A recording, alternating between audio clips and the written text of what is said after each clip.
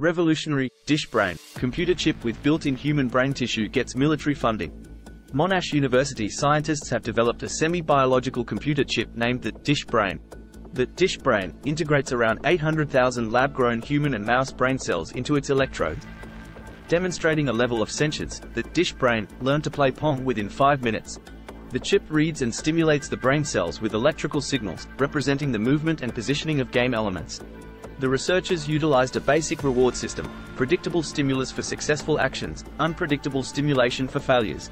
This is the first instance of lab-grown brain cells being used to sense and act upon the world in such a way. The impressive results led to a 407,000 United States dollars grant from Australia's National Intelligence and Security Discovery Research Grants Program. The research project, led by Associate Professor Adil Razi, involves a partnership with Melbourne-based startup, Cortical Labs, Razi suggests that these programmable chips, which fuse biological computing with AI, could surpass existing silicon-based hardware performance. The outcomes could have significant implications across multiple fields, potentially giving Australia a strategic advantage. The DishBrain's advanced learning capabilities could underpin a new generation of machine learning, especially in autonomous vehicles, drones, and robots.